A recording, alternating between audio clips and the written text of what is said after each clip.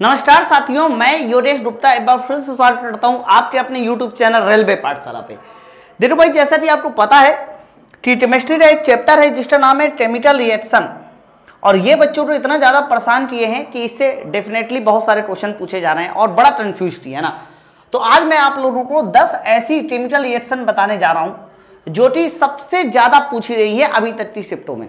Okay आप इनको ज़रूर पढ़ लीजिएगा। इसमें बहुत सारी चीज़ें आपको समझ में आएँगी। जैसे कि उत्पाद क्या होता है विकारक क्या होता है और छेप कैसा बनता है, ये सारे के सारे क्वेश्चन पूछे जा रहे हैं। ओके तो चलो फिर हम शुरुआत करते हैं आपकी पहली केमिकल रिएक्शन से। देखते हैं हमारी पहली केमिकल रिएक्शन क्या है आपके सामने। तो पहली अगर केमिकल रिएक्शन की बात करते हैं, ये सबसे ज़्यादा पूछे जाने वाला क्वेश्चन है।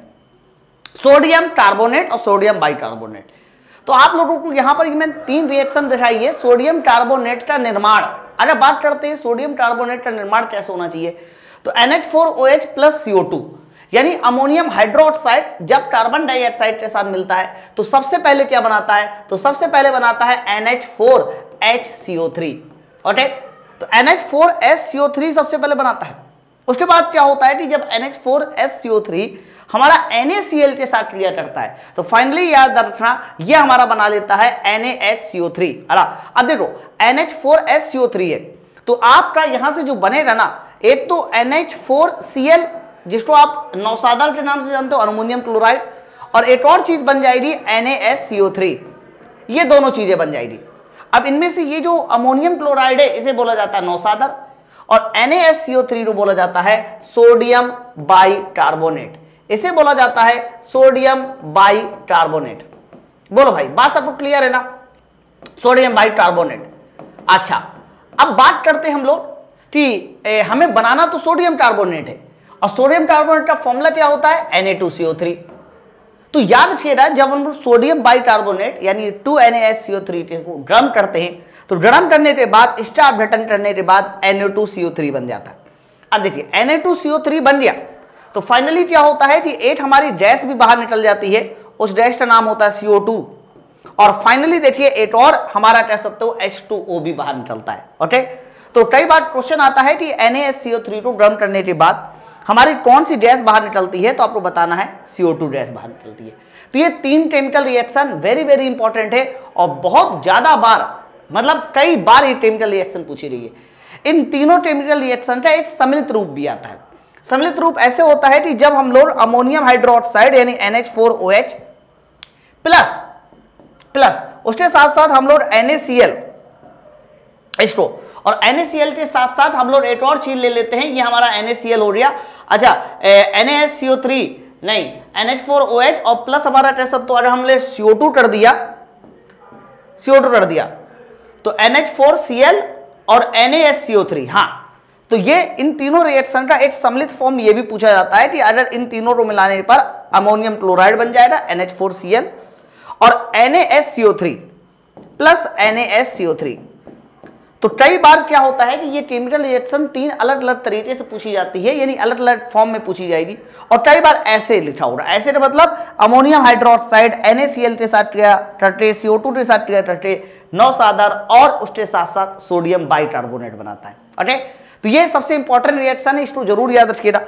अगली जो आपकी, अगले नंबर की जो इंपॉर्टेंट रिएक्शन है दस मैं बताना हूँ। दस मुझे बतानी है, पहले नंबर की खत्म हो रही है, अब ये दूसरे नंबर की रिएक्शन आ रही है। इसको पढ़िए, आप इसको यहाँ दूसरा नंबर डाल देना। उसके पहले वो पहला वाला नंबर था, ठीक है? ये हमारा पहला वाला नंबर था। मतलब पहले वाले में ये सब था ओके चलो, आज देखिए। दूसरा है, सोडियम कार्बोनेट की अम्ल से क्रिया। याद रखिएगा, जब भी कभी कोई भी कार्बोनेट अम्ल के साथ क्रिया करता है, जैसे कि मैंने सोडियम कार्बोनेट को H2SO4 के साथ क्रिया कराया, सोडियम कार्बोनेट को HCl के साथ क्रिया कराया तो हमेशा उसका लवड़ बनेगा, ठीक है?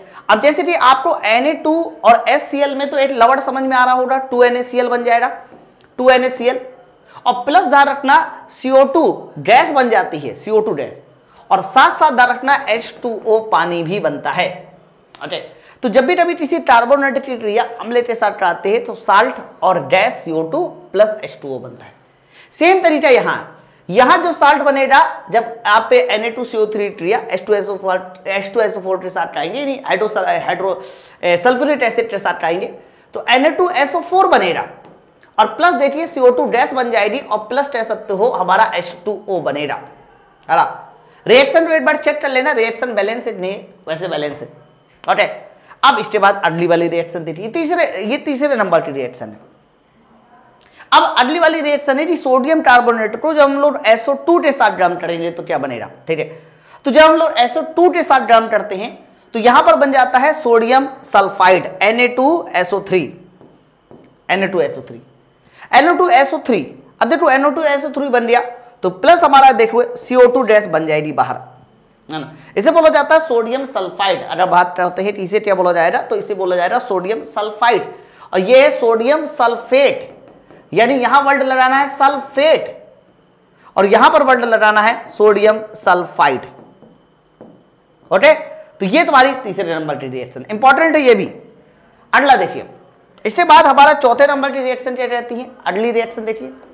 तो अगली रिएक्शन ये मेरे भाई कि सोडियम कार्बोनेट को भुजे हुए चूने के साथ रिएक्शन चाहिए यानी Na2CO3 क्रिया CaOH के होल ट्वाइस के साथ चाहिए वेरी वेरी इंपॉर्टेंट ये रिएक्शन है ना? और कई बार यहाँ पर ये रिएक्शन में CaOH का होल ट्वाइस होता है और कई बार याद रखना यहाँ पर हमारा NaOH भी होता है। ओके तो जब भी कभी ऐसा कोई रिएक्शन दिखाई देगी जिसमें सोडियम कार्बोनेट की क्रिया हमारा एक भुजे हुए चूने के साथ, अब भुजा हुआ चूना होता क्या? तो कहना ये है हमारा एक प्रकार का कह सकते हो क्षार ओके तो अगर इसके साथ क्रिया कराई जाएगी तो हमारा फाइनली बनेगा क्या तो होता क्या है कि कैल्शियम तुम्हारा कार्बोनेट के साथ क्रिया करके कैल्शियम कार्बोनेट बना लेता है। देख लीजिए सीओ सीओ थ्री प्लस बना लेगा टू एन एच तो इस कंडीशन में ध्यान रखना, हमारा कैल्शियम कार्बोनेट बनता है प्लस टू एन एच नौ सादर का निर्माण। नौ सादर, जिसको आप अमोनियम क्लोराइड के नाम से जानते हैं, अगर कोई पूछे नौ सादर का निर्माण कैसे करना है, इससे पहले वाली रिएक्शन मैंने बताई। अमोनिया की जब भी या आप एस के साथ कराओगे हाइड्रोक्लोरिक एसिड के साथ कराओगे तो याद रखना NH4Cl बन जाएगा। इसे बोला जाता है नौ सादर ओके ये रिएक्शन बहुत डायरेक्शन की होती है। यानी ये रिएक्शन एक कैसी रिएक्शन होती है तो कह देना ये रिवर्सिबल रिएक्शन होती है रिवर्सिबल तो चौथे के बाद ये तुम्हारी पाँचवें नंबर की रिएक्शन काफ़ी ज़्यादा बार पूछी रही ये भी। अगला देखिए, छठवें नंबर की रिएक्शन क्या है? नौ सादर की चिड़िया। अब मैं करने वाला हूँ अमोनियम क्लोराइड NH4Cl की चिड़िया CaOH के होल ट्वाइस के साथ भी होगी, और इसी चिड़िया देखिए NaOH के साथ भी होगी। तो फाइनली आपको बताना है कि इनमें क्या बनना चाहिए। एनएच फोर NH4Cl को अगर मैं NaOH के साथ क्रिया कराता हूँ तो बताइए यहाँ पर क्या बनना चाहिए। तो यहाँ पर क्या होता है कि यहाँ पर एक हमारे पास अमोनिया गैस बन जाती है। जब भी कभी अमोनियम क्लोराइड की क्रिया किसी क्षार के साथ कराई जाती है तो एक तो तुम्हारा बन जाएगा अमोनियम गैस अमोनिया गैस तो वहाँ से NH4 से निकल जाएगा NH3 देखो। लेकिन वो जो एक्स्ट्रा एच है, वो ओ OH के साथ मिलके पानी भी बनाएगा और बाकी कह सकते हो NaCl एक साल्ट बन जाएगा। देख लो। है ना? यानी ये NaCl के साथ मिलके साल्ट बना लेगा। यहाँ से एक हाइड्रोजन अलग होकर पानी बना लेगा। सेम चीज़ ऊपर भी टननी है। सेम चीज़ ऊपर भी टननी है। तो अगर वहाँ टू अमोनियम क्लोराइड है तो यहाँ टू थ्री बना लेगा इस बार। टू एन एस थ्री बना लेगा। है ना? सेम तरीके से अगर टू एन एस थ्री बनाया है तो यहाँ पर टू एच टू ओ भी बना लेगा क्योंकि टू ओ एच और टू और यहाँ पर बना लेगा फाइनली कैल्शियम क्लोराइड ये दोनों हमारे कैल्शियम क्लोराइड और NaCl ये दोनों दार रखना ये दोनों क्या है तो कह देना ये दोनों साल्ट है। ये रिएक्शन पूछी जाएगी। सातवें नंबर की रिएक्शन देखिए, ये भी इंपॉर्टेंट है। ब्लीचिंग पाउडर का बनना, है ना? ब्लीचिंग पाउडर का निर्माण तो जब भी कभी ब्लीचिंग पाउडर का निर्माण पूछा जाएगा तो ब्लीचिंग पाउडर का निर्माण ऊपर वाली रिएक्शन है कि जब आप भुजे हुए चूनों को, यानी सी एच के होल ट्वाइस को, भुजे हुए चूनों को क्लोरीन गैस फ्लो करते हैं तो सी टू बनता है। देखो, अब सी टू बनने के साथ एक पानी भी निकल जाएगा H2O भी निकल जाएगा। फाइनली रिएक्शन को बैलेंस करके देख लीजिए, है ना? लेकिन अगर यही ब्लीचिंग पाउडर में ब्लीचिंग पाउडर में जब कार्बन डाइऑक्साइड गैस फ्लो की जाती है तो फिर से सी बन जाता है और फाइनली कह सकते हो कि गैस बाहर निकल जाती है, उस गैस का नाम होता है क्लोरीन है ना? आप देखो ओके तो ब्लीचिंग पाउडर की ये दोनों रिएक्शन वेरी वेरी इंपॉर्टेंट है। एक दूसरे की कह सकते हो उल्टी रिएक्शन है क्लोरीन शुरुआत में दी थी लास्ट में निकलाई। लेड नाइट्रेट अच्छा पिछली वाली रिएक्शन कौन सी थी? सातवें नंबर की। ये वाली रिएक्शन बच्चा आठवें नंबर की है। लेड नाइट्रेट टू थ्री का होल ट्वाइस जब ड्रम किया जाता है और टू के आई के साथ ड्रम किया जाता है पोटेशियम आयोडाइड के साथ ड्रम किया जाता है। तो यहाँ पर ध्यान रखना, हमारा लेड आयोडाइड बनता है। लेड आयोडाइड मतलब पीबीआई टू क्या बनेगा? तो कह देना यहाँ पर बनेगा पीबीआई टू है ना? रिएक्शन थोड़ी सी मिस्टेक लिखी हुई है, यहाँ पर आप टू मत लगाना, नहीं तो रिएक्शन बैलेंस नहीं हो पाएगी पीबीआई टू पीबीआई टू का ध्यान रखना यहाँ पर पीला अवक्षेप बनता है। ये क्वेश्चन आ चुका है, कैसा अवक्षेप बनता है? लेड आयोडाइड का पीला अवक्षेप। लेकिन अभी बात खत्म नहीं वहाँ से दो हटा लेना। टू टे और एनओ थ्री का ट्वाइज तो यहाँ पर ये बना देगा टू टे एनओ थ्री पोटेशियम नाइट्रेट बोलते हैं। टी एनओ थ्री को बोला जाता है पोटेशियम नाइट्रेट है ना? इसको याद रखिएगा। इसके बाद अगले नंबर नौवे नंबर की जो रिएक्शन है, वो है लेड नाइट्रेट का अपघटन। यहाँ पर टू लगा लीजिए। यहाँ पर क्या होता है कि जब लेट नेट रेट का अपघटन कराते हैं तो पहले तो टू पीबीओ बनता है प्लस यहाँ पर बन जाता है four NO two four NO two और प्लस ऑक्सीजन रिएक्शन को एक बार बैलेंस कर लीजिए तो तीन दूनी छह छह दूनी बारह बारह ऑक्सीजन है। टू चार दूनी आठ यानी यहाँ पर आठ दो दस दो ओ टू और लगाना पड़ेगा। नहीं दो ओ टू नहीं। आ, चार दूनी आठ दो दस बारह सही है ओ टू एटी रहेगा फोर एनओ टू ये होती है तुम्हारी नाइट्रोजन डाइऑक्साइड और ध्यान रखना ये गैस होती है भूरे रंग की। अगर कोई पूछे कि इस गैस का कलर क्या है? भूरे रंग की।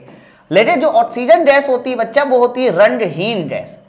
तो अगर हम लोग लेट नाइट्रेट का अपघटन कराते हैं, अपघटन का मतलब गर्म करते हैं तो भूरे रंग की गैस पूछी जाए कौन सी बनती है तो तुम्हें बताना NO2 और ध्यान रखना रंगहीन गैस कौन बनती है? ऑक्सीजन। ओके? इसके बाद अगला जो होता है, वो होता है दसवें नंबर वेरी वेरी इंपॉर्टेंट इसको ज़रूर याद रखिएगा। कि एसिटिक अम्ल की क्रिया आपने मीथेन अम्ल से नहीं नहीं निर्माण क्रिया नहीं है एसिटिक अम्ल से मीथेन का निर्माण यहाँ लिख लेना मीथेन का निर्माण ठीक है तो जब हम लोग सोड अम्ल एसिटिक अम्ल का मतलब यहाँ पर हमने क्या किया है C H three C double O N A लिया है ना और यहाँ से हमने देखिए C H three C double O N A की क्रिया हमने बनाई है क्रिया चाहिए एन एच के साथ तो फाइनली क्या होता है कि एक तो तुम्हारी मीथेन गैस बन जाती है, यानी सी एच फोर बन जाएगा। और दो एन ए मिलकर N A two C O three बना ले रहे N A two C A three अब एसिटिक अम्ल से मीथेन का निर्माण मैंने इसलिए लिख लिया क्योंकि सी एच थ्री सी डब्लो जो एन ए मिलेगा ना, वो कहीं ना कहीं एसिटिक अम्ल का लवड़ है हरा तो आप चाहे एसिटिक अम्ल लिखकर सोडियम एसिटिक लिख देना उसको। लेकिन C S three C double O N A जब एन ए के साथ क्रिया करता है तो मीथेन गैस बनाता है और N A two CO three बनाता है।